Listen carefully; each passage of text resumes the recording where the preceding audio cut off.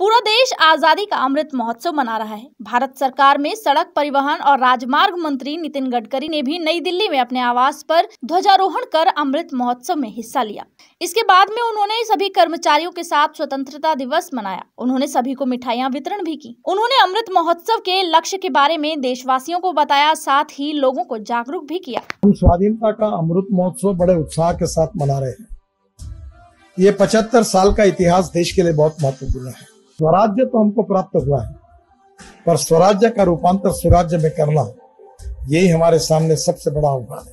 सामाजिक समता भी हो, आर्थिक समता भी हो, गाँवों का भी विकास हो, शहरों का भी विकास हो, जाल, ज़मीन, जंगल और जानवर, इसके आधार पर हमारे वनवासी बंधुओं का भी विकास हो, किसानों का भी विकास हो।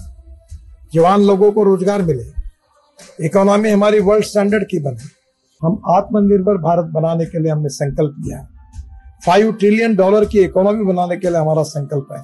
दुनिया के नंबर एक की महान ताकत आर्थिक ताकत बनेगा कि हम हिंदुस्तान को आत्मनिर्भर भारत बनाएँगे।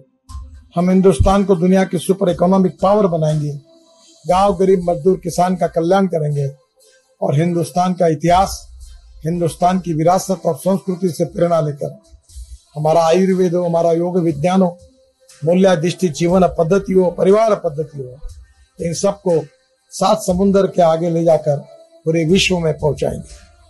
मेरा विश्वास है कि आपका ये संकल्प राष्ट्र के पुनर्निर्माण के लिए बहुत उपयोगी होगा और आप सबके सहयोग से हम निश्चित रूप से फाइव ट्रिलियन डॉलर की इकोनॉमी बनेंगे और दुनिया की पहले नंबर की कंट्री बनने में हम कामयाब होंगे।